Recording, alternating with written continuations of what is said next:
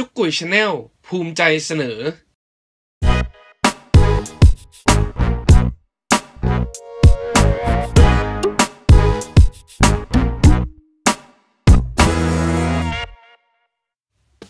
สวัสดีครับยินดีต้อนรับทุกท่านเข้าสู่รายการจุกกุยมินิโฟวิวนะครับ วันนี้นะครับมาแกะกล่องอันนี้นะครับ นี่กัน Blaster XTO นะครับ ตัว Light Blue Special นะครับ เป็นโครง FMA นะครับ ก็คือเป็นครั้งแรกของ FMA นะครับ ที่เป็นสี Light Blue สีฟ้าใสแบบนี้นะครับ ซึ่งก่อนหน้านี้นะตัวแรกเนี่ยเขาจะเป็นอะไรนะ ผมจำชื่อไม่ได้เดี๋ยวกันหยิบมาดูเลยดีอะ Rowdy Bull แต่ว่าตัวนี้จะไม่ใช่ตัวแรกนะ ตัวแรกเป็นราว Rowdy Bull สีน้ำเงิน ผมไม่ได้หยิบมาให้ดูนะ เคยเคยมีคลิปไปแล้ว ส่วนตัวนี้เนี่ยจะเป็นตัว starter ของ Rowdy Bull นะครับ ก็คือตัวสตาร์เตอร์ของ FMA นั่นเองจะเป็นสีดำ ปกติโครงจะเป็นสีดำนะครับ แล้วก็ก่อนหน้านี้เขาจะมีนี่โครง FMA สีแดงนะครับ FMA สีแดงก็คือรหัส 95411 นะครับ ก็สามารถหาซื้อได้ อย่าลืมกดติดตามช่องจุ๊กกุ่ย Channel ด้วยนะครับ กดติดตามแล้วอย่าลืมกดกระดิ่งด้วยนะครับ เวลามีตอนใหม่มาจะได้แจ้งครับ จะได้ไม่พลาดตอนใหม่ คลิปนี้สนับสนุนโดย Virus Mini 4 Wheel facebook.com slash virus mini 4 wheel ติดต่อคุณมอไวรัสได้นะครับ บอกว่าดูจุ๊กกุ่ยมาสินค้าทามิยาลด 15%ครับ ตัวนี้จะเป็นครั้งแรกที่เป็นโครงสีฟ้านะครับ สีฟ้าแต่ว่าทางข้างกล่องเขาจะเขียนว่า เนี่ยครับ ABS Resin Chassis Light Blue นะครับ สีสีฟ้าสว่างสว่างอะ ก่อนเรามาแกะนะ เรามาพูดถึงเรื่องการ Buster XTO ก่อน ซึ่งก็มาจากการ์ตูนนะครับ ตัวนี้ผมจำชื่อไม่ได้ชื่ออะไรวะนะฮะนี่ก็คือเป็นซีรีส์การ์ตูน Let's and Go นั่นเองนะครับ ซึ่งตัวนี้อันแรกนะ นี่ Gunbluster XTO นะครับ ได้มาจากญี่ปุ่นนานมากแล้ว อันนี้รู้สึกน่าจะเป็นโยโดบาชิหรือเปล่าไม่แน่ใจ ถ้าไม่โยโดบาชิก็ Bic Camera ผมมีซื้ออยู่ 2 ร้านเนี่ยเนี่ยแหละนะครับ ก็ ตัวนี้ก็จะเป็นกัน Blaster XTO ตัวมาตรฐานนะครับ ตัวมาตรฐานโครงจะเป็น Super FM นะฮะรหัสจะเป็น 19419 เป็นซีรีส์194 นั่นเองนะครับ ก็คือเป็นซีรีส์ Full Cowl ครับผม ก็คือการ์ตูน Let's and Go นั่นเอง แล้วก็ต่อมา ตัวนี้จะเป็นซัสโก Special นะครับ ตามเนื้อเรื่องการ์ตูนผมก็จำไม่ได้แล้วนะ ต้องย้อนต้องย้อนกลับไปอ่านนะครับ เป็นโครงซูเปอร์ FM เหมือนกันนะครับ แต่ว่าตัวนี้รหัสเป็น 19424 นะครับ อ่า เป็น 19419 กับ 19424 อ่า ตัวนี้จะเป็นซัสโก Special ที่แปลกไปก็คือสติ๊กเกอร์ออกแบบใหม่แล้วก็ตัวโครงจะมีลายจุดๆๆมีลายฉลุปีกหลังก็เปลี่ยนนะครับ ปีกปีกหลังก็เปลี่ยนก็จะไม่เหมือนเดิมเปลี่ยนแปลงนิดหน่อยนิดๆหน่อยๆนะครับโอเค ถึงตัวนี้เลย ตัวนี้นะครับเป็น 95439 ก็ยังคงเป็นมอเตอร์หน้าอยู่ แต่ว่าเป็นมอเตอร์หน้ายุคใหม่นะครับ FMA นั่นเอง 95439 เผื่อจำไม่ได้ เป็นซูรี่เป็น เป็นซีรีส์ซีรีส์ Full Cowl เหมือนเดิมเนี่ย Full Cowl Mini 4 Wheel Series นะครับ แต่รหัสเป็น 95 นะ เป็นตัว limited รหัส 9 นะครับ อืมอย่างที่บอก บอดี้บอดี้จะเป็นโพลีคาร์บอเนตบอดี้นะครับนี่ lightweight clear body with pre-cut wheel arch ABS Resin Chassis Light Blue Hard Small Diameter Low Profile Tire Light Blue ก็คือยางจะเป็นไซส์เล็กนะฮะ Low Profile แล้วก็สีฟ้าใสเหมือนกัน spiral type 6 spoke wheelเนี่ยครับ เป็น spiral 6ก้านให้เกียร์ 3.5 ต่อ 1 type 130 มอเตอร์ ก็คือ มอเตอร์ขาว ฐานไม่มีนะครับ ฐานฐานไม่ให้นะ ไม่ให้ฐานมานะครับ นี่แบตเตอรี่ not include นะครับ นี่สไปรัลโค FMA สี light blue แล้วก็มีตัวประกบนะฮะ จะเป็นสีสีที่อ่อนกว่า อ่อนกว่าโครงนะครับ สีตัวตัวสีตัวประกบกับไออะไรนะ roller เออจะอ่อนกว่า อ่อนกว่าตัวโครงตัวปิดท้ายตัว skid bar roller 13มิล 13 มิลนี่ 13 มิล roller หนา 8 มิลนี่นี่นะครับ under panel นี้คือฝาปิดมอเตอร์นะครับ แล้วก็ฐานใส่ฐานใส่ข้างบนนะ มอเตอร์ใส่ข้างล่าง อืม rear roller stay skid type ครับผม แกะเลยดีกว่า เนี่ยครับนำเข้าโดยสยามทามิยะนะครับอ่าสั่งซื้อผ่านมอไวรัสนะครับลด 15%ใครสนใจก็สามารถสั่งซื้อได้นะครับ จุ๊กกุ่ยแค่รีวิวนะครับ แต่ว่าผู้ขายเนี่ยคือคุณมอไวรัสนะครับ ก็ facebook.com/virusmini4view นะครับ บอกดูจุกกุ๋ยมานะ ลด 15%นะครับ สินค้าทามิยะรวมทั้งกล่องนี้ด้วยนะครับ หลายคนถามว่า เอ้ย อันนี้กี่บาท อันนี้กี่บาทพี่ ก็ มันก็แล้วแต่นะครับ แล้วแต่รุ่นแล้วแต่ราคาที่ทางสยามธรรมิยาเขาจะกำหนดราคาไทยมา อ่า แล้วก็ทางVirus Mini 4 Wheel ก็จะลดให้ 15%นะครับ ก็แล้วแต่รุ่นแล้วแต่แบบแล้วแต่กล่องลองถามไปดูนะครับ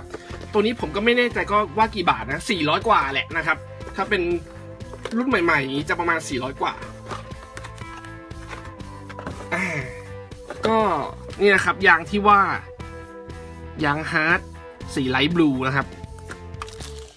ตัวนี้ไว้พูดทีหลังดีกันโครงก่อนเนี่ยครับ นี่เฮ้ยผมมันลื่นๆนะเออ เนื้อมันเนื้อมันแปลกแปลกๆนะ ถ้าดูในจอนะครับ ดูในจอ มันจะออกน้ำเงินนะฮะ แต่ว่าดูสีจริงอะ่ะ ตาผมดูจริงอะ่ะ เนี่ยผมกำลังมอง สีโครงจริงกับสีโครงในจออยู่ มันต่างกันนะครับ ตัวนี้มันจะออกไปทางเขียวๆหน่อยๆอะ คือแบบ ถ้าเทียบกับในจอในจอจะฟ้ากว่าอันนี้นะครับ คือในจอจะออกไปทางน้ำเงิน แต่ว่าตัวเนี้ยจะออก จะออกอ่อนกว่าในจอ เออ ไม่รู้พูดยังไง ชี้ไปที่ ABS นะครับ ตัวเขาเป็น ABS resin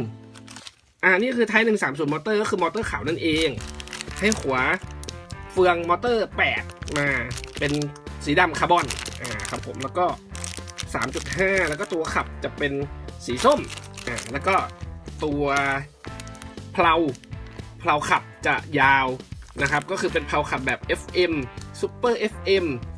อ่า Super X Super XX อ่านะครับ ก็จะเป็นตระกูลนั้น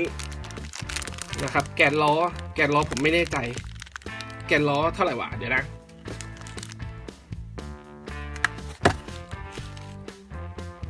ไม่ไม่ได้บอกนะ วัดเลย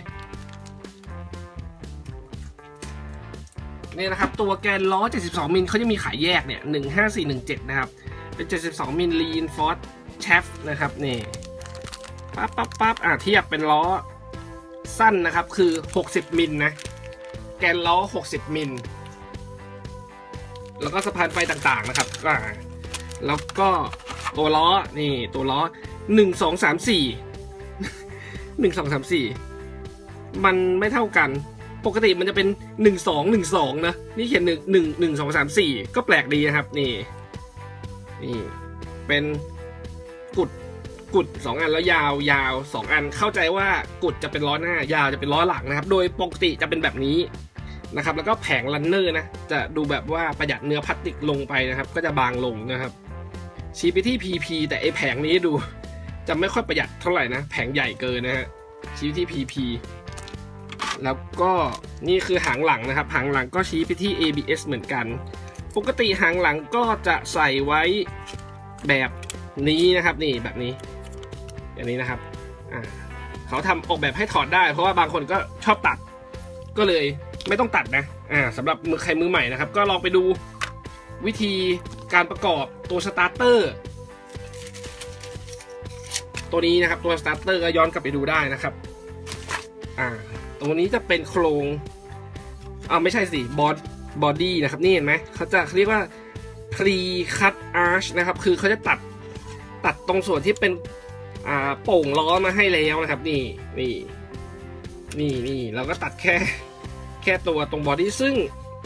ใครๆก็บอกว่ามันตัดยาก ผมก็ยังบอกว่ามันตัดยากนะครับ แต่ถ้าเป็นโพลีคาร์บอเนตใสแบบนี้เวลาจะพ่นสีนะ ให้พ่นจากข้างในนะครับ ตัวข้างหน้านี่จะมีฟิล์มบางๆ เคลือบอยู่อันนึงนะครับ เวลาทำเสร็จแล้วก็จะลอกออก เพราะว่าเวลาพ่นมันอาจจะเปื้อนไงมันก็ข้างหน้ามันก็จะมีฟิล์มเคลือบอยู่พ่นข้างในนะครับพ่นเสร็จแล้วก็ลอกฟิล์มข้างบนออกนะครับ ก็จะเสร็จเรียบร้อยสวยงามดีนะครับอ่าตัวนี้ก็จะเป็นตัวที่ไว้ยึดกับตัวบอดี้นะครับ ก็คืออย่างเงี้ยประมาณเนี้ยประมาณนี้ครับก็ใส่อย่างเงี้ยมันมีชิ้นส่วนของมันในการติดตั้งนะครับ ต้องไปอ่านในคู่มือนะแล้วเพราะว่าบอดี้คาร์บอเนตเนี่ยแล้วแต่แบบว่ามันจะยึดยังไงต้องอ่านคู่มือดีๆ ครับผม แล้วนี่ฮะนี่ตัวประกบนะนี่เห็นไหมครับ สีมันจะอ่อนกว่า สีมันจะไม่เหมือนกันนะครับ โอเค ตัวประกบของ FMA นะ ใครไม่เคยดูก็นี่โรลหลังมันจะหนาๆนะครับ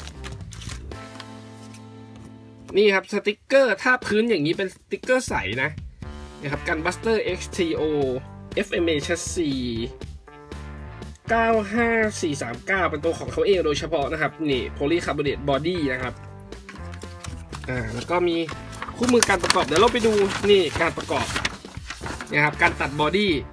มันก็จะยากกว่าปกตินี่เอาคัตเตอร์แซะเขาบอกว่าห้ามทำอะไรเนี่ย ลองลองลองอ่านดูก่อนจะทำนะครับ นี่ให้พ่นจากด้านในจริงเห็นเห็นไหมครับ แล้วก็พ่นเสร็จให้ลอกข้างนอกออกฮะ มันจะมีฟิล์มบางๆอยู่นะ ตามนั้น นี่ชิ้นนี้ติดข้างหลัง ชิ้นนี้ติดข้างหน้านะครับอ่า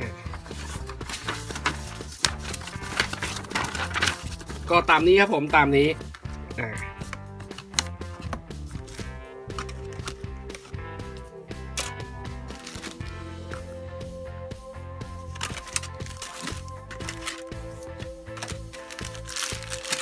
อ่าแล้วพอประกอบแล้วหน้าตาเขาก็จะได้แบบนี้นะครับ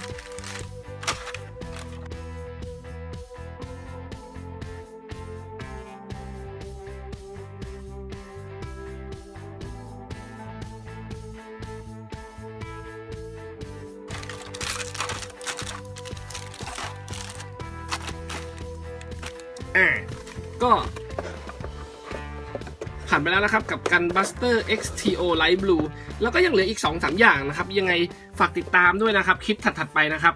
อย่าลืมกดติดตามจุ๊กกุ่ย channel นะครับจุ๊กกุ่ยมินิโฟร์วีลนะครับ แล้วก็คลิปต่างๆนะครับ อย่าลืม like share comment แล้วก็ subscribe ด้วยนะครับ